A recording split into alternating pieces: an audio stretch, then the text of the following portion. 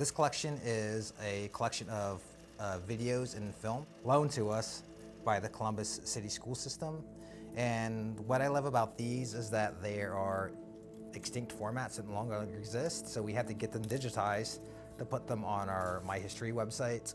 And this particular one that I'm holding is uh, a 8 millimeter film of Fair Avenue School in 1969, and this was a, a summer project that they were working on. And we have videos from Fair Avenue and the Fifth Avenue School, taken in the late 60s, um, and there are things from uh, Halloween, Christmas celebrations, there's art projects that they're working on, playground footage, um, just really great images that I think uh, people that went to those schools will really appreciate. I also think that they're great because the, the teachers that are in the photographs and videos are no longer here with us, so I think it's great to see people can reminisce and, and remember their teachers.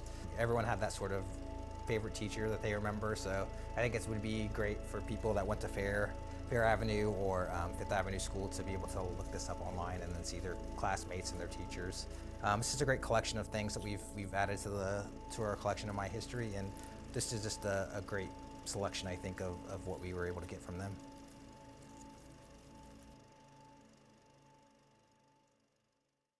If you enjoy Ohio Snapshots in Time, please like, share, and subscribe.